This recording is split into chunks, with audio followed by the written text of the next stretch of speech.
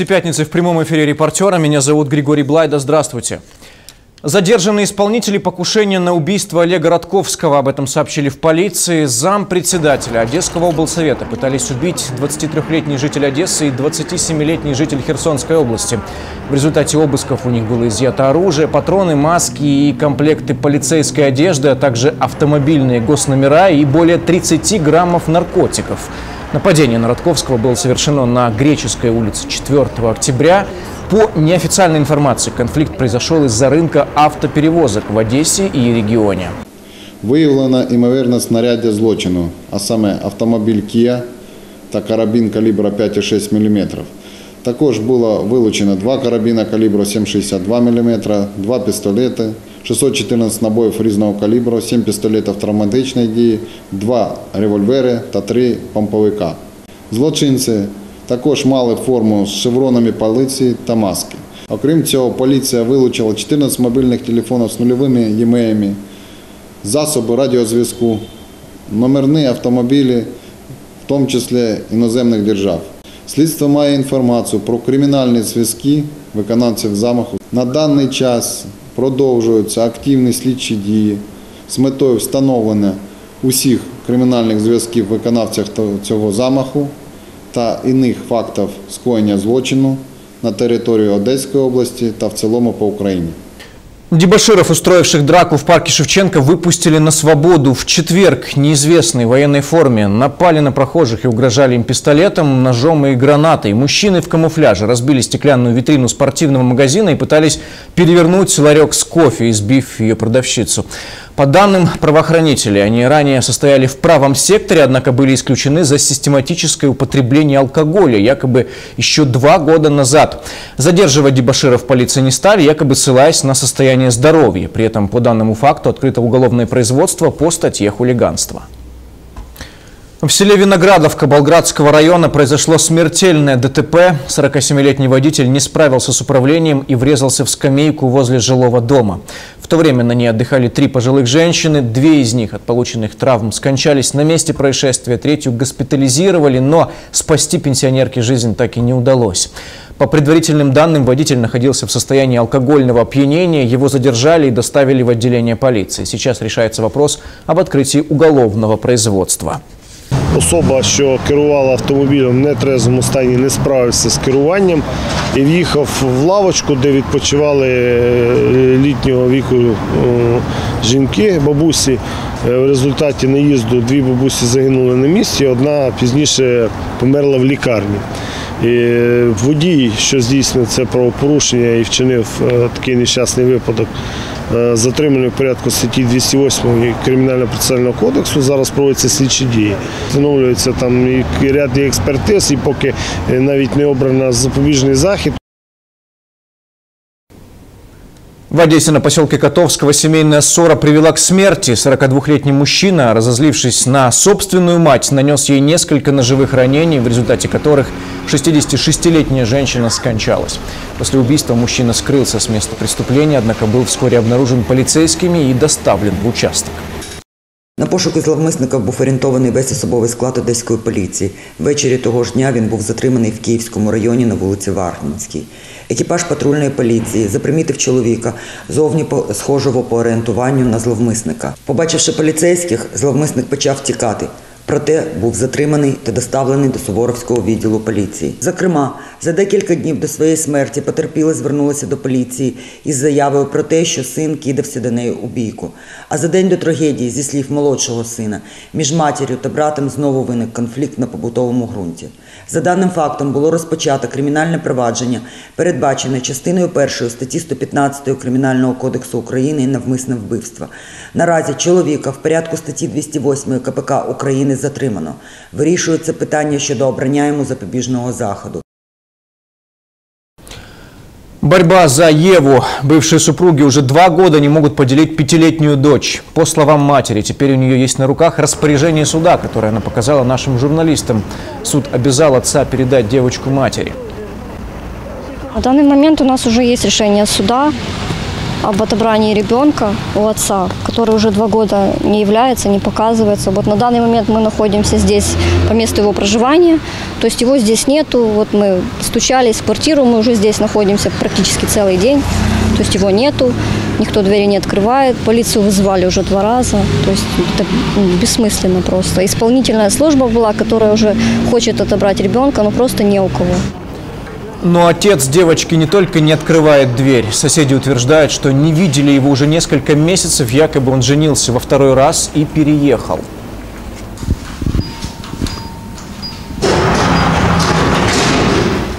То есть это так постоянно. Здесь двери никогда не открываются, то есть ну, бессмысленно. Звоните и приходите. Судебные заседания по поводу того, с кем должна остаться пятилетняя Ева Саенко, длились два года. Мать утверждает, что ее бывший муж похитил их дочь. Также, по ее словам, Еву и экс-супруга объявили в розыск. Некоторые родители, ученики и выпускники юридического лицея вышли на митинг в защиту директора учебного заведения. Ранее Александр Шиян заявил, что покидает этот пост, а все из-за скандала. Несколько родителей рассказали, что в столовой их детям подают некачественную еду и двое лицеистов отравились.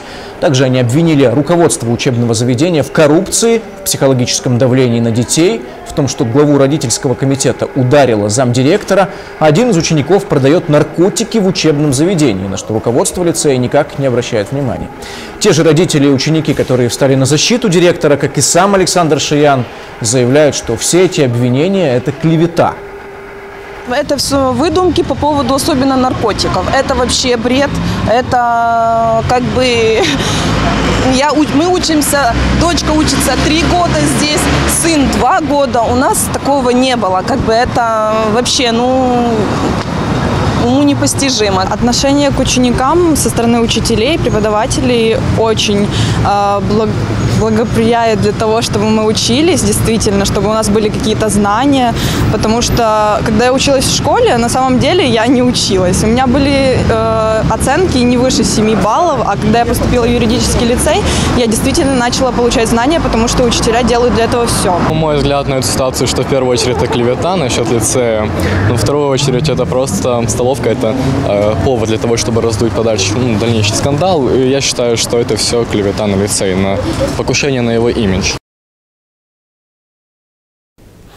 И сегодня активисты собрались под зданием Суворовского суда, чтобы выразить свой протест судьям-коррупционерам. Речь идет о судьях Шипитько, Бобовском и Лупенко. Все они в разное время, по убеждению активистов, были замешаны в крупных скандалах, связанных с получением взяток. В сети также есть видео, на котором Шипитько якобы берет деньги, и за это его задерживают силовики. It's a hit. Don't get me back to good, good bullshit. I'm in a high fidelity. Активисты возмущены тем, что правонарушители не только не отбывают наказание, но и продолжают работать. Ссылаясь на это, общественники говорят о необходимости создания в Украине специализированных антикоррупционных судов. Меня возмущает то, что на данный момент в этом суде работают три судьи, которые были пойманы на взятках. Это Шаптала, ой, Шаптала Шипитько, это Бобовский и Лупенко. Три судья. Один э, Шипитько был в 2015 году пойман на взятке, сам себя писал полгода. Э, Есть видео, доказ- ну, видео как, как он берет эту взятку. Э, И два года система не может избавиться от него. Его один раз отстраняли, потом второй раз отстраняли, и он опять через суд возвращается. Просто эта ситуация уже настолько возмущает, что э, это, этот суд стал каким-то пристанищем для коррупционеров, получается. И я считаю, что их надо, э, что им не место здесь, и им надо срочно по- подавать в отставку, увольняться, потому что иначе мы вынуждены будем блокировать этот суд и не давать ему работать, пока, пока они не уволятся, эти судьи.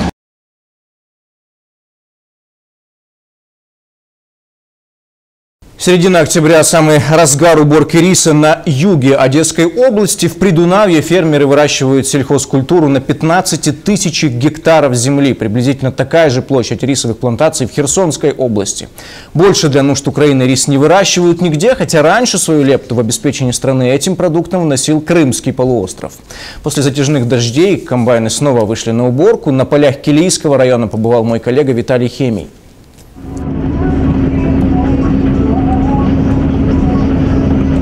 Село Лески 10 километров от Вилкова. Такой комбайн на необычном гусеничном ходу в день может скосить больше 10 гектаров рисового поля. Обычной колесной технике здесь будет тяжело. Заболоченная земля вносит свои корректировки в работу. Рис – культура, которая любит воду, близость Дуная, до миллиметра отстроенная оросительная система решает вопрос регулярного полива риса. На крупнейшем предприятии Юга области под выращивание риса выделено 1620 гектаров. После уборки зерно везут на мехток, после чего приводять в товарний вид. Зараз ми збираємо урожай риса. Рис сирець називається. Він поки ще не оброблений. Далі після поля через комбайн він йде на ток. На току його очищують, доводять до е, потрібної вологості і далі він поступає до нас на завод. На заводі ми його обрушуємо, е, шліфуємо, поліруємо і відбираємо січку, мучку і готовий рис. І той готовий рис, який найкращий, ви бачите на полицях магазинів. Сезон уборки риса совпадает по времени с началом посевной кампании озимых культур пшеницы и ячменя. В отличие от хозяйств, где идет посевная, в лесках дождям не очень рады. Из-за обильных осадков на протяжении трех дней комбайны хозяйства не могли выйти на рисовые плантации.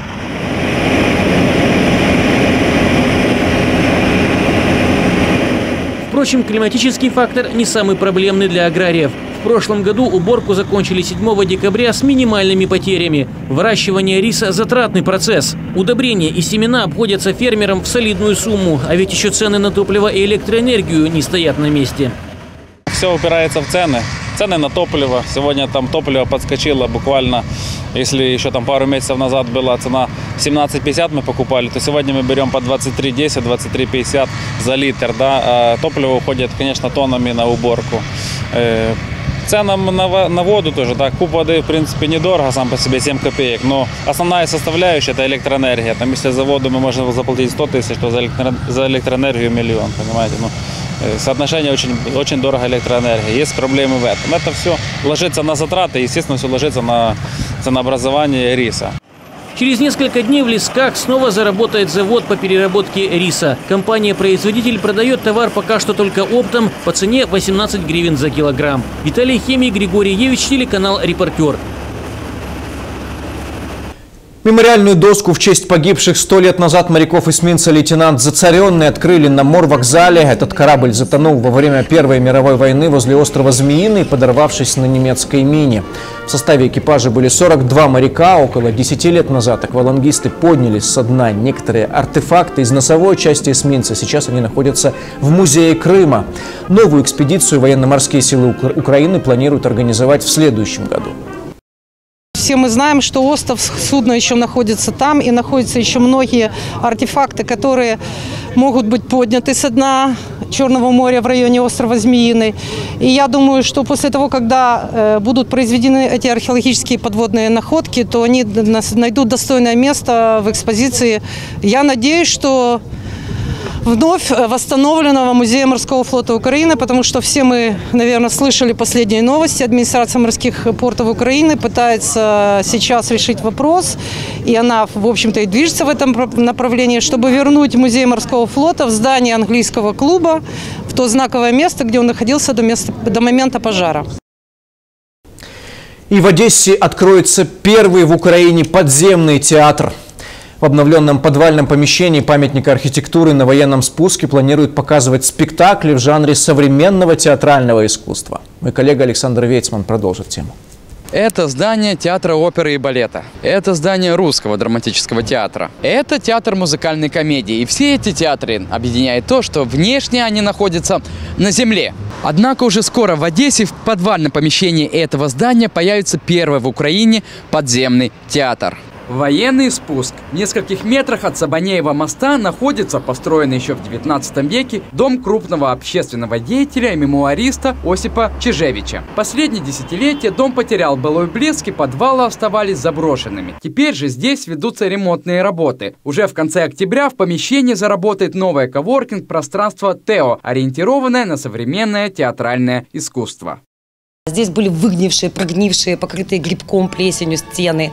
А, лилась канализация, лились все трубы, все выевшее. Ну, то есть э, тут э, о, было э, аварийное состояние. Мы все это делаем впервые. Мы вообще не знаем, как, что. То есть мы э, для себя первооткрыватели. И, и надеемся, что наше пространство, оно станет э, такой вехой э, в в жизни города, в культурной жизни города. Тем местом, э, куда приходя человек, приходя одним, уходит иным, иным, наполненным э, новым содержанием, новым пониманием. И это э, главная задача, главная философия нашего пространства. Помимо постановок, в будущем театральном пространстве будут проходить концерты, авторские встречи с драматургами, мастер-классы, включая видеопоказы лучших европейских спектаклей. Также создатели планируют помогать и начинающим режиссерам. Здесь будут э, проект, э, который называется «Вход свободен». Это проект, который свободен как для зрителя, бесплатно, так и для актера, либо труппы, либо еще какой-то формы существования, а, для э, предоставления того, что они сотворили, для того, чтобы они могли показать это зрителю, а зритель мог это посмотреть. И это бесплатно будет со всех сторон. Откроется пространство для широкой публики 30 октября. Премьера спектакля «Ифигения. Апофеоз» по мотивам трагедии древнегреческого драматурга Эврипида. Александр Вейцман, Владимир Ивжич, телеканал «Репортер». Накануне праздника Покрова Пресвятой Богородицы в галерее Свято-Архангела Михайловского монастыря открыли выставку. Она посвящена 25-летию пребывания на Одесской кафедре митрополита Одесского и Измаильского Агафангела. Его э, работа вдохновила многих художников э, в своих произведениях, поэтому на выставке можно увидеть э, профессиональные работы художников э, одесских и также детские рисунки, в которых видно, что они вдохновлены праздниками, теми традициями, которые культивируются в семьях. Экспозиция рассказывает о возрождении, строительстве и реставрации храмов, часовен, монастырей, о благотворительных и просветительских учреждениях, развитии духовного образования и церковного искусства под покровительством владыки. Выставка продлится с 13 октября до 21 ноября. И одесский черноморец подписал 33-летнего украинского вратаря Андрея Федоренко. Об этом сообщают интернет-ресурсы, но в клубе информацию официально не подтвердили. Ранее голкипер выступал в белорусском Крум-Качи, который тренировал наставник моряков Олег Дулуб. Также игрок защищал цвета ярославского Шинника, румынского Чохлаул и казахстанского Атырау. Также усилить одесситов может нападающий. По информации таблоидов, форвард тоже ранее играл в чемпионате Румынии. Обоих футболистов якобы заметили в товарищеской встрече против молдавского «Динамо Авто». А вот новый главный тренер черноморца Олег Дулуб размышляет над своей отставкой, возможно, из-за увольнения его помощника Александра Грановского. Окончательное решение белорусский тренер будет принимать после матча с киевским «Динамо» в воскресенье и встречи с президентом клуба Леонидом Климовым на следующей неделе. Субботу в 18.00, как всегда, итоги уходящей недели. Оставайтесь с репортером. Нам интересно. Счастливо увидимся.